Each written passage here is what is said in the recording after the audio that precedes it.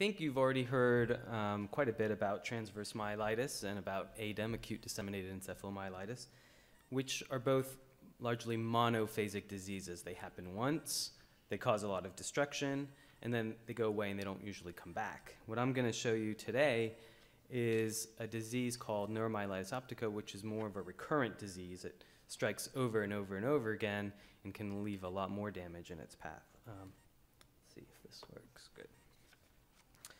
So um, here uh, is a chart that um, helps me to think about neuromyelitis optica, which is in that uh, top corner over here, where the y-axis is recurrence rate, and what you can see is that NMO kind of sits up there at the top. It happens a lot. If especially untreated, it can relapse any you know four, or five, even more times per year, which is very devastating. Some MS patients have the same high relapse rate. You could see transverse myelitis, which you heard about earlier, largely monophasic, about 80% of the time just happens once. It doesn't really tend to recur. Um, there's uh, one, of course, the exception in transverse myelitis are the recurrent cases, recurrent transverse myelitis. And I think what we tend to do is lump those patients in with the NMO group and call them neuromyelitis optica spectrum patients because they often share a similar pathology, which is shown here from an NMO brain, uh, where the pathology um, has a lot of perivascular inflammation with IgG and IgM and complement deposition. And this sort of defines a humoral pathology, which I have here on the x-axis, that separates neuromyelitis optica from MS, which is considered more of a cell-mediated disease. And this will become more important later in the treatment section. But this is kind of how to think about NMO as different from TM and, and MS. Another way to think about NMO is where it, where it frequently attacks. So MS attacks the brain, it attacks the optic nerves, it attacks the spinal cord. TM, by definition, is just spinal cord, and NMO is more of optic nerve, brain stem, and spinal cord. So uh, again, another way to think about NMO. Um, what I'm going to do is just kind of go through five different subjects within NMO, um, definition, epidemiology, pathogenesis, workup, and treatment. And we'll start with definition here. And my definition of NMO is really simple. You have to have transverse myelitis, you have to have optic neuritis, and you can't have MS. So that's a very simplified way to think about NMO, but it gets more complicated when you have to rule out MS. It's really hard to rule out MS. Uh, so the Mayo folks have come up with criteria to sort of help us do that. In NMO, you typically have longitudinally extensive lesions. These are long lesions in the spinal cord, extending at least three vertebral segments. But in NMO, you don't have to have those really long segments. But if you do, you should think about NMO. Um, they're, they're typically much more inflammatory and much more recurrent. You can have lots of lesions, again, per year. And optic neuritis, it tends to be bilateral, doesn't have to be, and it tends to be recurrent, happens again multiple times. I have patients come back to back to back, three, every three, four months, they have another lesion in their optic nerve. And then to rule out MS, what we try to do is we use a combination of the brain MRI, uh, an NMO-IgG blood test, which is very specific for NMO. That is, if you're positive for that test, you really should consider NMO as the diagnosis very strongly and then you tend to not have oligoclonal bands, which you see often in MS. Um, this is a typical MRI of a patient with NMO, and um, I don't know if you can see it back from the back, but there's a, a, a, white area within the gray spinal cord here that corresponds to a longitudinally extensive lesion.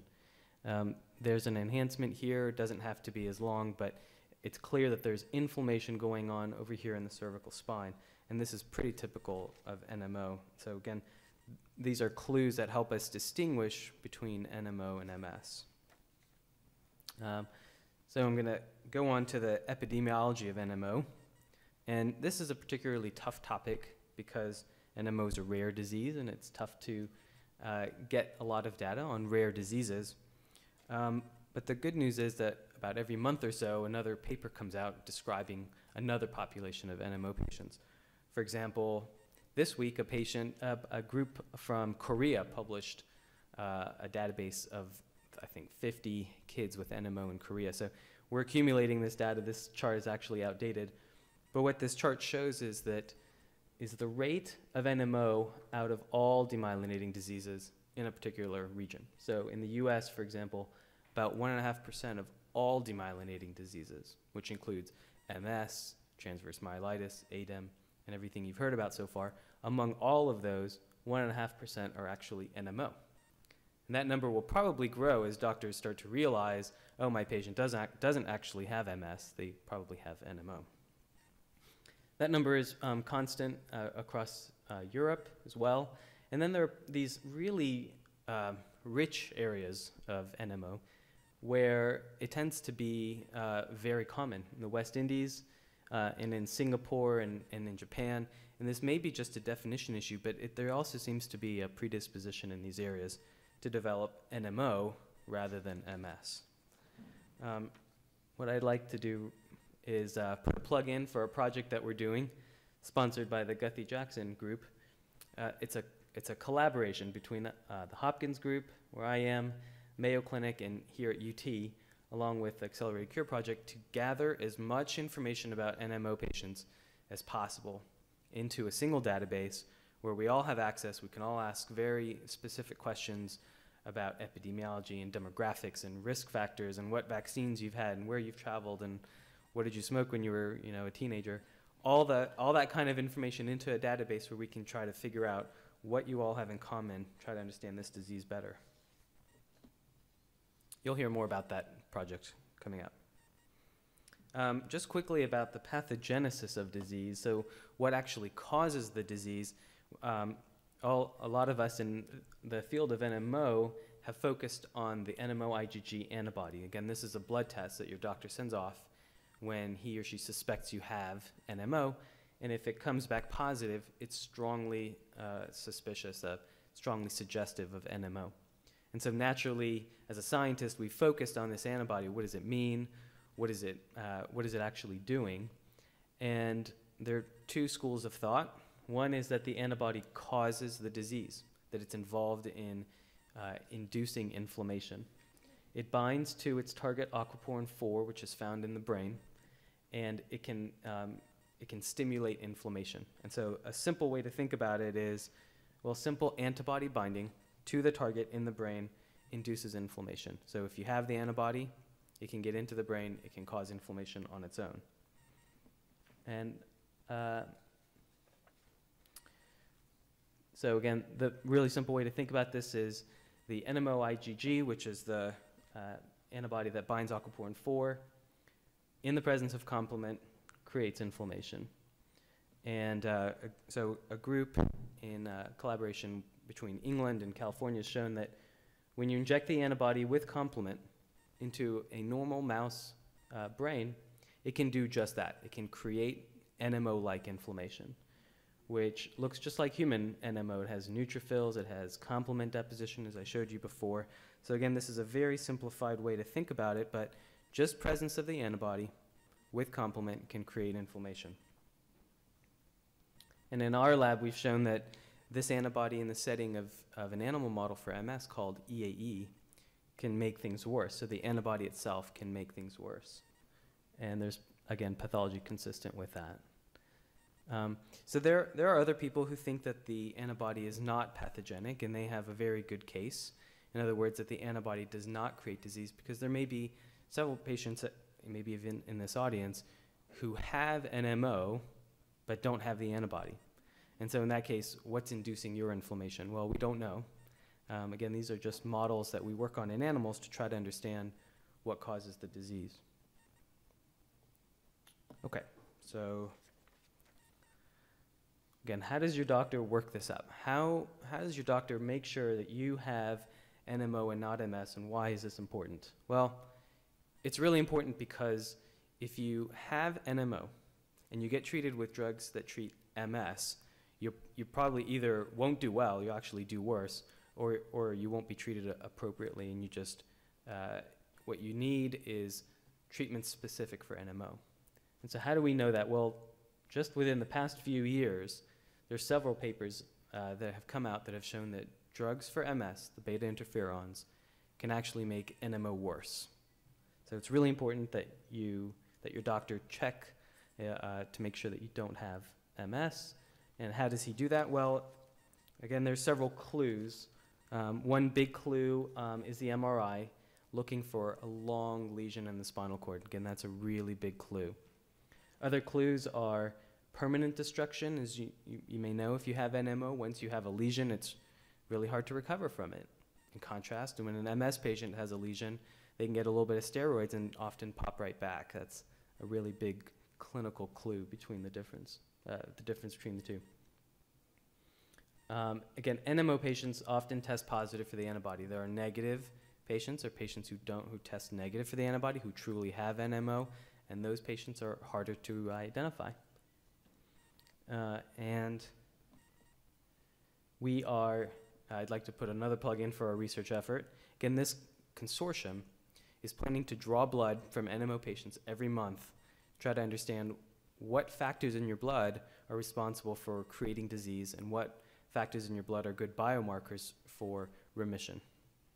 So that's another uh, part of this project that we're doing in collaboration with the Mayo and UT.